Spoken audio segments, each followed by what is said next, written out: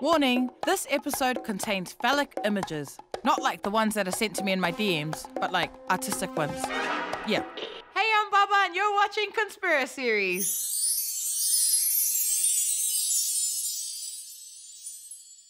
Bubba, pilots have been drawing massive penis shapes in the sky in Christchurch. What? Why? Apparently, it's an entry level maneuver for pilots.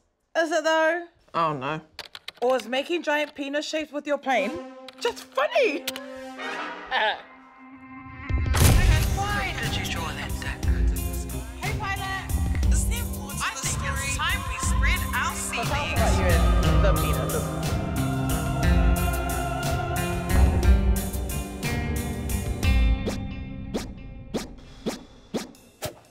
Hi, I'm Baba, the finest queen from South Auckland.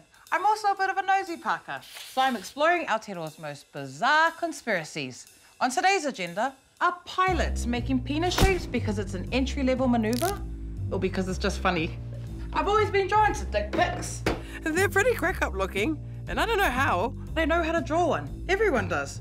Okay, I like a Picasso. The ratio of vagina to dick pics is way off. I mean, sure, there's a few titty pictures here and there, but it's just not the same. And I'm here to investigate why.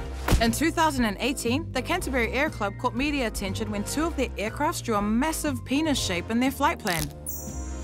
A representative for the club said it's simply an entry hold maneuver.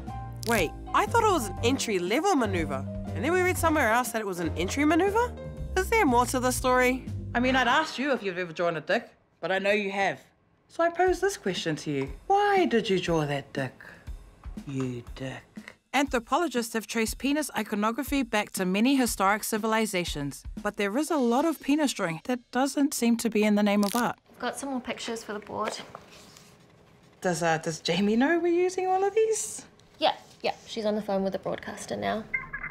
Oh, great. You got the reference images? No, no, that's not um hair. That's spaghetti. Wow, you really did your research. With all this BDE, I think it's time we spread our sea legs. Raiders Wellington, cookie. So I'm taking our team to the South Island.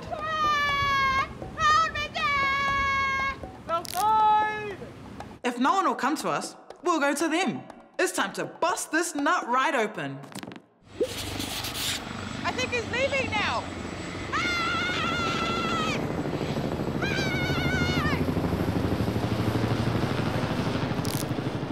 We travelled to Christchurch and came here to the Canterbury Air Club to chat to someone about what was being reported. But damn, we just missed them.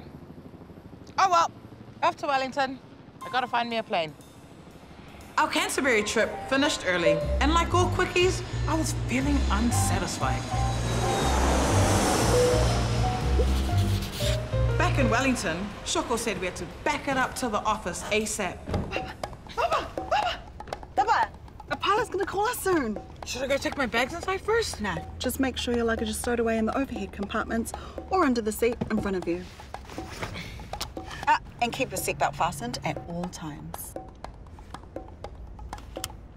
Hi, Bubba. The pilot is ready for you now. Hey, pilot! Just wanted to know, have you ever tried that maneuver? This is not a maneuver that I've tried to make deliberately.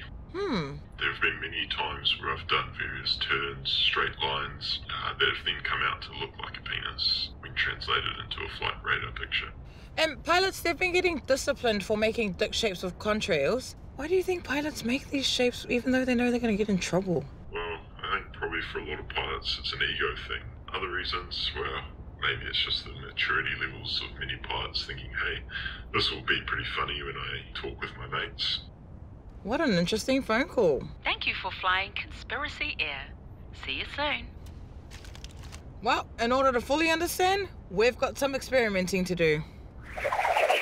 I just need to see how hard it is to do this entry-level maneuver, and Ash from Animation is going to show you what I draw. Drone, Matt! Welcome to my plane.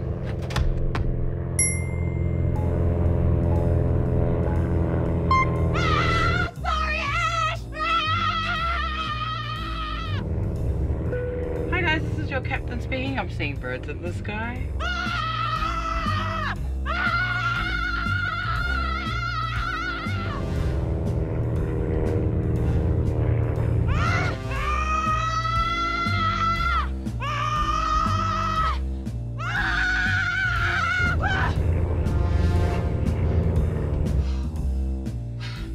It's pretty hot.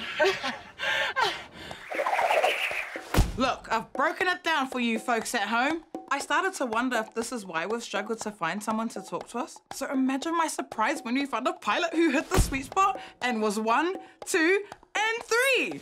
This is Vaughn Davis, who created this shape with his plane to raise awareness for testicular cancer. So tell us about you and the penis. The penis, yeah. We're penis. saying penis, the penis. A friend of mine was doing a campaign for the Testicular Cancer Foundation. They wanted uh, people to use their GPS tracking devices to kind of draw pictures of, you know, the expression is cock and balls in order to raise awareness for their charity and for their fundraising. But he said, oh, mate, you've got an airplane, why don't you do it with the airplane? So that's what I did. It said on the article accidentally. Did you first Oh, or accidentally? Yeah, yeah, I will. Vaughn. Yeah, well, I did. I did kind of do it accidentally because I was flying to Wellington. I had to do some manoeuvres to hold outside the airfield, and uh, you know, my mate he said that looks a bit like a. Mm. And I said, oh, maybe it does. So he said, can you do one that looks a lot like one? And I said, sure. How did you prepare? Yeah, it needed to be big. Uh, it needed to be, you know, I won't say accurate, but you, you needed to be able to tell what it was, right? Yeah. Uh, and then I used my autopilot and my GPS to, to fly the track, and there it was on radar. What was the hardest part to draw? The hardest part to draw, I don't even know the name of it. I think the name, let's call it the opening at the end, because I had to sort of flying the curve, Yeah. but then I had to do like a 90 degree turn, come straight in, Mm-hmm. and almost uh, reverse on the spot to come out and, and make that, that little shape on the end there. So that was the most difficult part, Yeah. shall we say. So we've got the entry level hold and then entry hold, entry level maneuver, and maneuver. Can you explain the difference between all three? um, you might have been, uh, you know, flying into Auckland, and the captain comes on. She says, "Hey, sorry, we just have to hold for 10 minutes while we wait for weather or other traffic."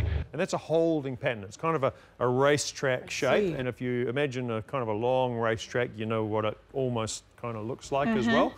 The entry maneuver into that hold, combined with the racetrack, is what could give you that, um, you know, penis or cock and balls picture in the sky. it's literally the maneuver that they do into the entry hold. Yeah, yeah, yeah, yeah.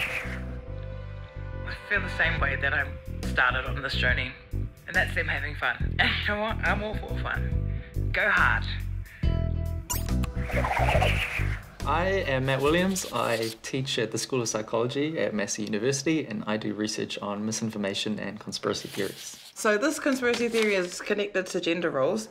Are there any observations between male and females when it comes to believing conspiracies? Yeah, so there's a fair bit of research showing that we as men are a little bit more likely to believe in conspiracy theories than women. Because you do. um, we made penis shapes. I ran it and the drone followed me making the shape. If you had the chance to, what would you use to make your shape?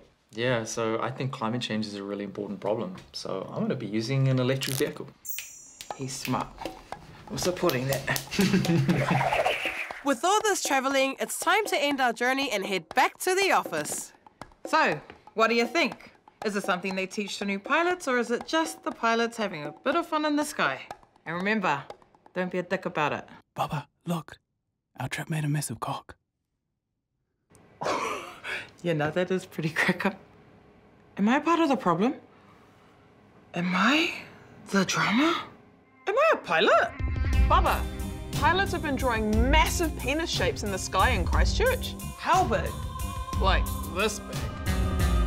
That's big? I think that's big. Yum.